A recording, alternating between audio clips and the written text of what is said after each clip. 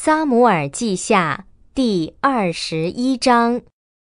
大卫在位的日子有连续三年的饥荒，大卫就寻求耶和华的面。耶和华说：“这是因为扫罗和扫罗家流人血的罪，因为他曾经杀死了基遍人。原来基遍人不是以色列人，而是亚摩利人中余剩的后人。”以色列人曾经起誓与他们立约，但扫罗却为以色列人和犹大人发热心，设法要击杀他们。王把基遍人召了来，对他们说话。大卫问基遍人：“我能为你们做什么？我该用什么来赎罪，使你们为耶和华的产业祝福呢？”基遍人回答大卫。我们与扫罗和他家的事都与金子银子没有关系，我们也不愿以色列中有一个人被杀。大卫问：“那么你们说，我当为你们做什么？”他们回答王：“从前破坏我们、谋害我们、要消灭我们、使我们不能在以色列境内立足的那人，现在，请你把他子孙中的七个男丁交给我们。”我们可以在击遍耶和华的身上，在耶和华面前把他们处决。王说：“我必交给你们。”王顾惜扫罗的孙子约拿丹的儿子米菲波设，因为大卫与扫罗的儿子约拿丹曾经在耶和华面前有过誓约，于是王逮捕了艾雅的女儿利斯巴为扫罗所生的两个儿子。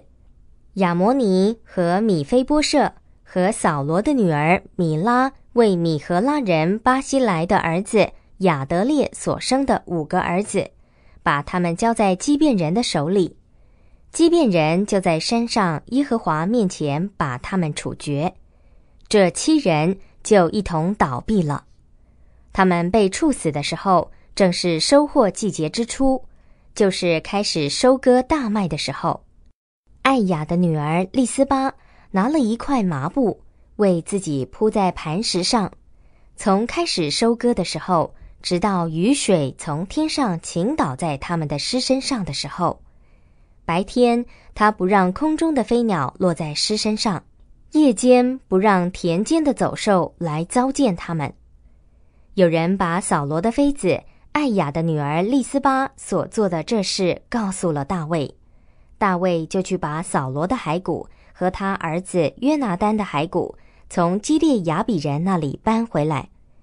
原来非利士人从前在基利波山击杀扫罗那一天，就把他们二人的尸体挂在博山的广场上，基列雅比人却把他们偷了去。大卫把扫罗和他儿子约拿丹的骸骨从那里搬上来。又有人收敛了那些被处决者的骸骨，他们把扫罗和他儿子约拿丹的骸骨埋葬在便雅悯地的血拉，在扫罗父亲基士的坟墓里。王所吩咐的一切，众人都行了。这是以后神垂听了人们为那地的祷告。非利士人与以色列人又有了战事。大卫和跟随他的臣仆一同下去，要与非利士人征战。大卫疲倦了。他们住在戈伯，有一个人是巨人的儿子，他的铜矛有三公斤半重，又佩戴着新刀。他想要击杀大卫。席路亚的儿子亚比筛帮助了大卫。亚比筛击打那非利士人，把他杀死了。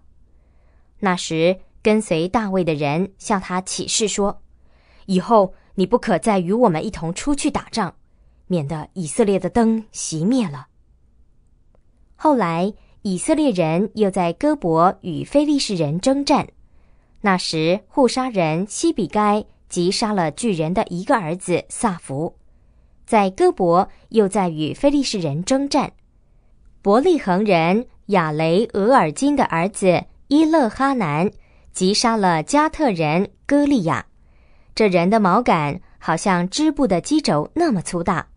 在加特又有一场战事，那里有一个身量高大的人，手脚都各有六个指头，总数是二十四个。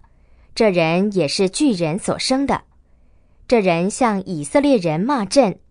大卫的哥哥是米雅的儿子约拿丹，把他击杀了。以上这四个人都是加特城里那个巨人所生的。